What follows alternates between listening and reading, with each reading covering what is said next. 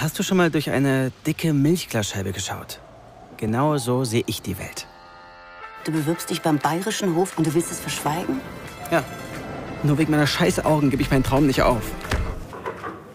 Aber wie soll denn das gehen? Ich werde üben. Dann darf ich Sie bei uns begrüßen. Danke.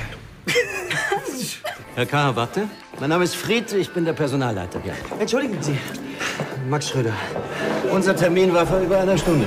Vollsperrung, ich kam weder vor noch zurück. Haben Sie vielleicht im Radio gehört?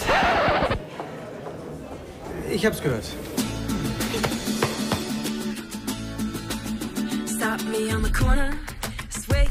Ich schätze Sie als ehrlichen Menschen ein.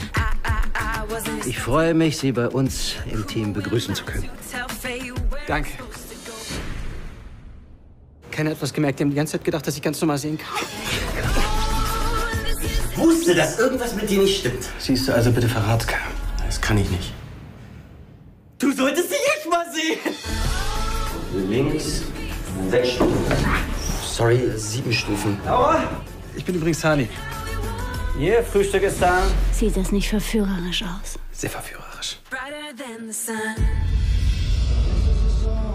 Wir werden alle durcheinander. Ich kann mir das heute nicht merken. Vielen, vielen Dank.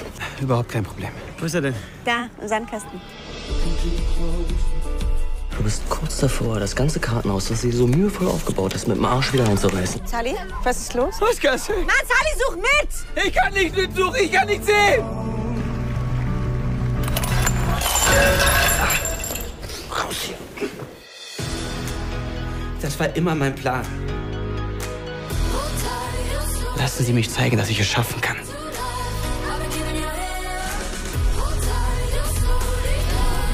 No way. Vorsicht, Pfütze! Ja! Ich werde das Träumen nicht aufgeben, auf keinen Fall.